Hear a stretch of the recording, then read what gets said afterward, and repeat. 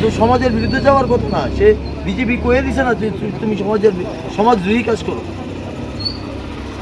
এই বিষয় নিয়ে আপনারা মানে আপনি এলাকাবাসীর তরফ থেকে কি মুখ্যমন্ত্রী দ্বারস্থ হবেন? কাল কি করব আমি কল করে থানাতে। না এই বিষয় নিয়ে কি মুখ্যমন্ত্রী দ্বারস্থ হইতেছেন আপনারা? মানে এলাকাবাসী? মানে অলরেডি অধৈর্য হয়ে গেছি এই ব্যাপারটা নিয়ে। আমরা এখনও এমন হইতেছে যে এইসব লোককে যদি বিজেপি রাখা হয় আমাদের বিজেপির থেকে সরতে হইব। বিজেপির বিরুদ্ধে আমাদের যাইতে হইবে এইসব কাজের জন্য। অ্যাকচুয়ালি এখানে তখন মনে হয় একটা পঁয়তাল্লিশ চল্লিশের মতন বাজে সময়। রাত্রি? হ্যাঁ রাত্রি। তখন আমরা তো এখানে অ্যাকচুয়ালি আমরা সবাই এখানে সবাই মানে এমপ্লয়ি মানুষ সবাই থাকতে পারে না তাই আমরা সিকিউরিটি অ্যারেঞ্জমেন্ট করা হয়েছে উত্তরণ সংঘ থেকে। আমরা বিগত আজকে প্রায় তিরিশ বছর ধরে এই পূজাটা করা হয়। কিন্তু কোনোদিন এরকম উশৃঙ্খলতার সৃষ্টি হয়েছে না এই এলাকাতে। এলাকা সবাই সমষ্টিগতভাবে একত্রে আমরা পূজাটা করি। এলাকার সবাই গার্জিয়ানরা মিলে এই করে। কিন্তু আজকে দেখা গেছে কিন্তু আমরা একটু আগে সে আমরা যখন আমি ক্রস করতেছি এর আগে আমরা যে আমি ক্রস করতেছি এই এলাকাটা প্লাস উনি আমার এলাকার গার্জিয়ান আছে তাইনে ক্রস করতেছে তখন তাইনে দেখছে জিনিসটা। হেরে মারছে ইয়ে করছে কিন্তু হে লুকটিরে চিনতে পারছে না কিন্তু আমরা মারপথ খবর আইছে যে যারা ক্রস হয়েছে যে লুকটিরে চিনা গেছে দুইজনটা চিনা গেছে। একটা গাড়ি লইয়ে সেটা চার পাঁচজন একটা টিম আইছে। আইয়া সেটা এখানে মণ্ডপের লাইট চেয়ার টেয়ার ভাঙ্গা সেটা এরা এখানের উপরের দিকে আছে নাম দিয়ে কি তা জানি কইছিল? গণেশ গণেশ গণেশ সাহা। গণেশ সাহা। এরপরে? আরেকজন কেটা আসলো? ওটা বাবুলের গাড়িটা বেরোলো একটা বেলুনো গাড়ি আসলো এটার ভিতরে চার পাঁচজন দুষ্কৃতিকারী আইছে আয়াসেরা এখানে চেয়ারটার ভাঙচুর করছে।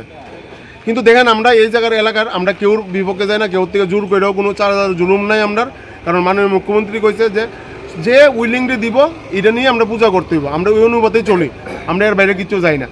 আমরা ওই অনুপাতেই করতেছি কিন্তু কীভাবে বা কিল্লিকে আমরা এখানে এরকম হয়েছে আমরা কিন্তু জানি না এটা। ওরা কারা?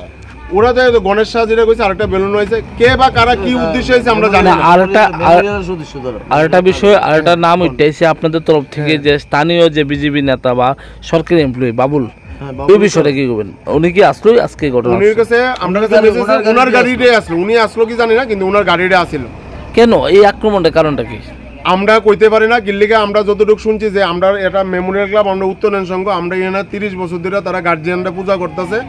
তো এখান থেকে তো আমরা যা চাঁদা কালেকশন আমরা নিজেদের মধ্যে করি, আমরা কোনো এলাকা যাই না। কিন্তু তারা এখানে এটা প্রভাব সৃষ্টি করানোর চেষ্টা করতেছে। আমি যতটুকু জানছি বা খবর পাইছি বা দেখতেছি।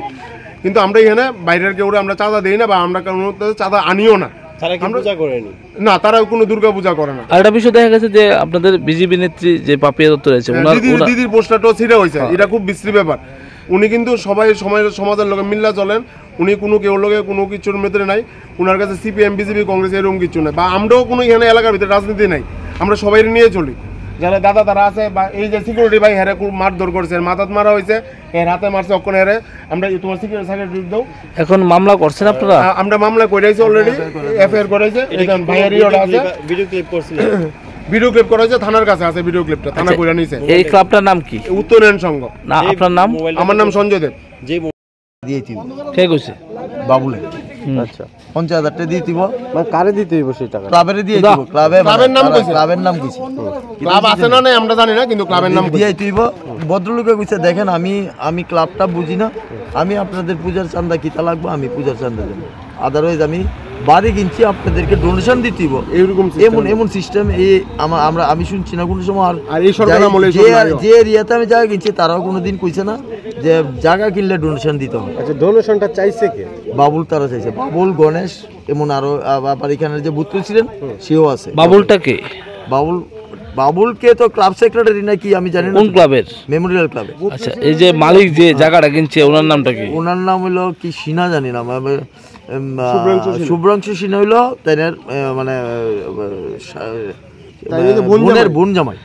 শুভ্রাংশু সিনার ওই ইয়ে, তোমার ইয়ে, অরূপ দেবের চেম্বারে গিয়েছিল থ্রেট দিয়েছে। তারা থ্রেট দিছে।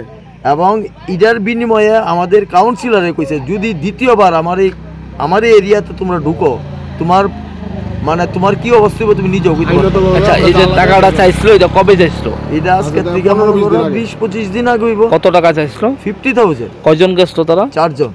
সঙ্গে নেতৃত্ব কে দিছিল তো বাবুল আসলো গণেশ আসলো গণেশ সাহা প্লাস এখানের যে বুথ প্রেসিডেন্ট কি দাস নাম আমি ঠিক করতে পারি না। তো এরপরে ওইখানে আক্রমণ না এখানে আক্রমণ হওয়ার কারণে? এইখানে মানে কি তা এইখানের যে যারা যেই লোকটা কিনছে সেই লোকটা আমাকে সাংঘাতিকভাবে সম্মান করে যে দাদা আপনার সোর্সে আমি জায়গাটা কিনছি আমরা ভদ্রলোক চাই। মানে আপনার নেতৃত্বে এখন জায়গাটা জায়গাটা কিনছে। যে ভদ্রলোকে বিক্রি করব সেই ভদ্রলোকে কইছে টিপু আমি ভদ্রলোক ছাড়া কারও কাছে আমি জায়গা বিক্রি করতাম না। সে জায়গাটা ভদ্রলোক আমি কিছু দেখেন ভদ্রলোক যদি হয় আপনি জায়গা বিক্রি করতে পারেন আমাদের এখানে ভদ্রলোক দরকার।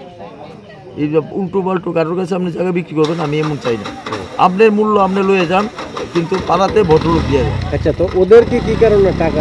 ওই যে তাদের এরিয়া পরে কইছে এইটা মেমোরিয়ালের আন্ডারে যে বাড়িটা আছে এটা বিগত বহু বছর আগে মেমোরিয়ালের আন্ডারে ছিল। যখন এখানে পপুলেশন ছিল না।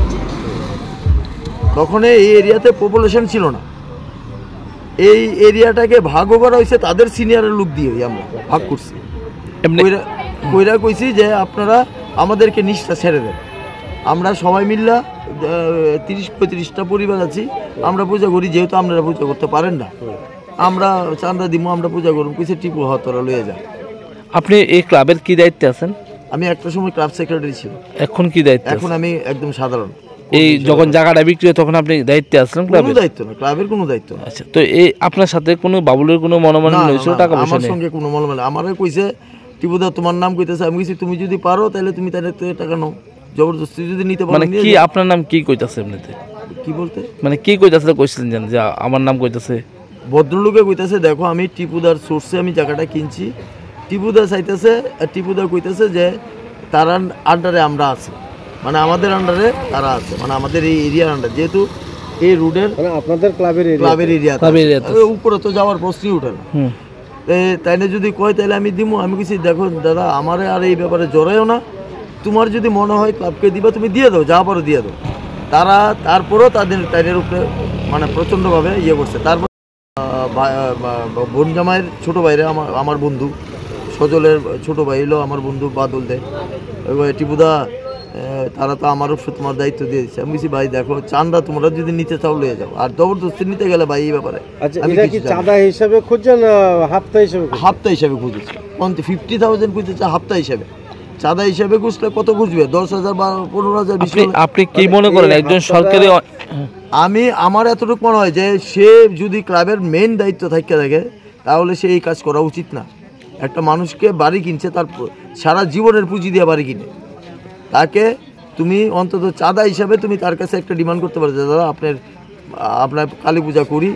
আমরা আমাদেরকে আমরা আমরা আপনার তরফ থেকে আপনি কী চাঁদা দিলে আমরা খুশি হবেন আপনাকে এই চাঁদাটাতে?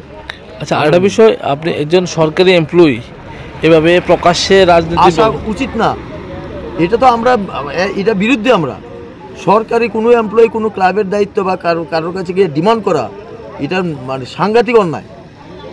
কি নাম আপনার দাদা? শ্রীতনু সাহা ভালো নাম শ্রীতনু সাহা। যেহেতু আপনি এই বিষয়টা জান কত বছর ধরে এখানে বসবাস আমার সেভেন্টি ফাইভ এখানে আমার। এই ধরনের ঘটনা আমি প্রথম দেখেছি। প্রথম দেখেছি এই এই ঘটনা।